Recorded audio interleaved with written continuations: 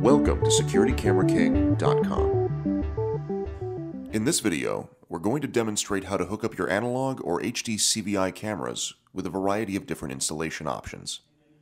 First, we're going to use our pre-made plug-and-play cables and a Power Mini 4 power supply. Plug the power supply into a standard 110 outlet and connect the four-way splitter. We also carry a Power Mini 8 to power up to 8 cameras.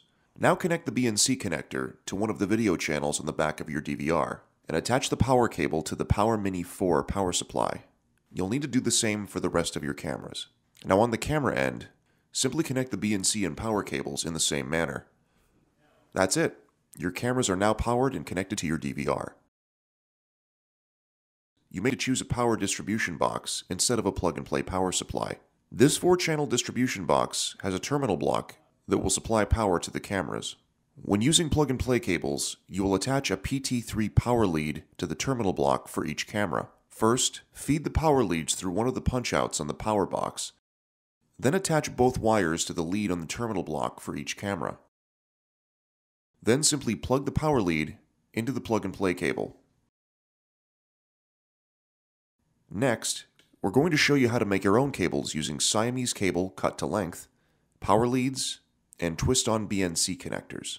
Siamese cable is coax video cable along with a set of power wires. First, you'll need to twist on the BNC connectors to both ends of the cable. At the camera end of the cable, you will attach a PT3 female power lead to plug into the camera. Here we are using B-wire beanies to connect our wires.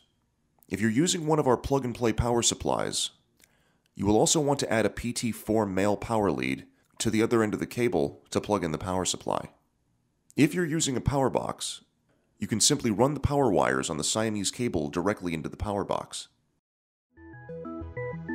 Thank you for watching. Be sure to subscribe to our channel for all of our latest security products, demos, and tutorials.